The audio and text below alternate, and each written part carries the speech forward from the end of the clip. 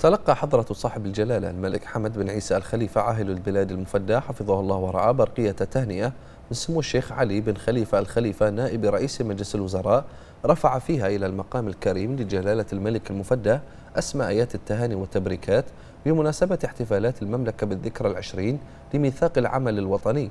داعيا الله سبحانه وتعالى في هذه المناسبة المباركة أن يحفظ جلالته وأكد سمو الشيخ علي بن خليفة الخليفة في برقيته. إن رؤية جلالتها يده الله بتقديم هذا الميثاق الوطني.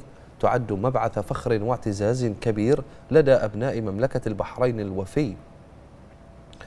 وأن ما تحقق من نسبة تصويت فاقت 98% لهو دليل راسخ على إيمان الشعب المملكة بكل خطوات جلالته.